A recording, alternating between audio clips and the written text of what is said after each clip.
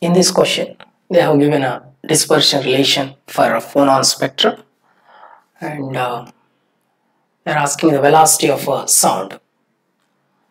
So here they have given a dispersion relation plus or minus.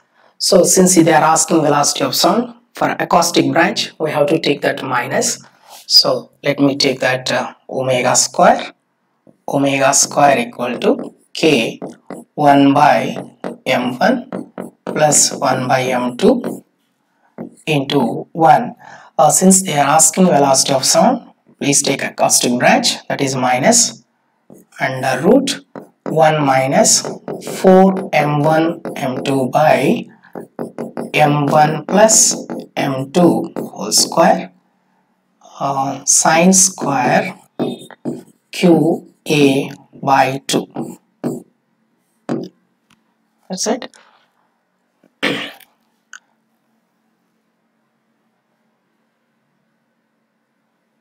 so so this is the omega given. So let us take the approximation. This is uh, k 1 by m1 plus 1 by m2 and this can be written as uh, uh, 1 minus 4 m1 m2 by m1 plus m2 whole square sine square qa by 2 whole power 1 by 2 so if you take approximation you will get uh, 1 minus 1 by 2 4 m1 m2 by m1 plus m2 whole square.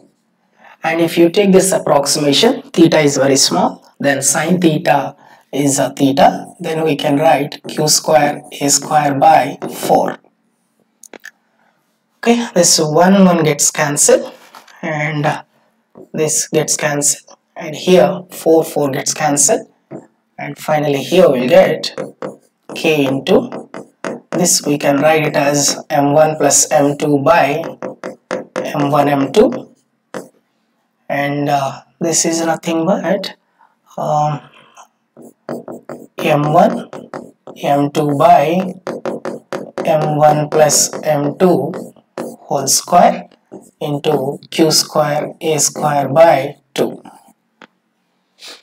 so we can cancel this uh, m1 plus m2 and the square. m1 m2 gets cancelled. So finally omega square equal to k um,